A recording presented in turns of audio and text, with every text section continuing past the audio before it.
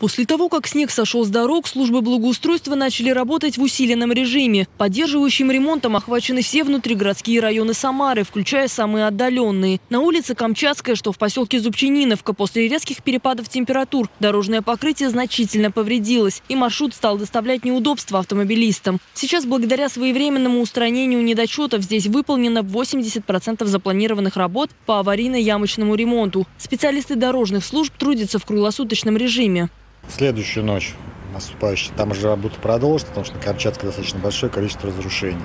Кроме этого, работали на таких э, улицах интенсивным движением, как улица Вольская. На ней более 200 квадратных метров было сделано. Будем переходить к э, остальным объектам, на которых также имеются дефекты дорожного покрытия.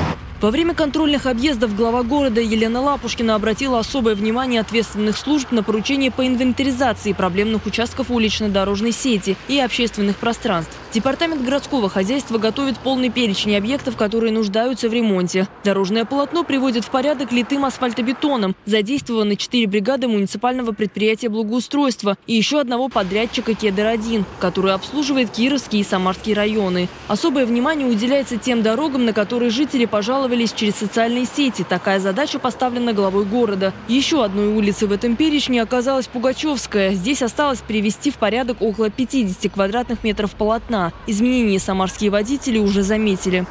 Вместе со снегом и асфальт сошел. Но сейчас работает, вижу. Я по городу много езжу, много ремонтирую. Надеюсь, что будет лучше. Что могу сказать? По поводу ямочных ремонт, э, видно то, что они производятся по мере возможности. Надеюсь, э, все это в кратчайшие сроки устранится и, соответственно, будут э, прекрасные дороги. С начала марта, как только позволили погодные условия, в Самаре стартовал поддерживающий ремонт. Выполнен аварийно-ямочный ремонт дорог на площади 11,5 тысяч квадратных метров. С 1 апреля заключены новые контракты. Этой ночью бригады будут приводить в порядок улицу Клиническая. Кроме того, отремонтируют улицы Вольская, Физкультурная и Владимирская. Одна из самых сложных и загруженных дорог в Самаре – Ракитовское шоссе. Ямы здесь уже заделали, но при необходимости бригады будут возвращаться на участки шоссе снова. Как только установится сухая и теплая погода, начнется ремонт большими картами. Мария Илчан, Николай Епифанов. События.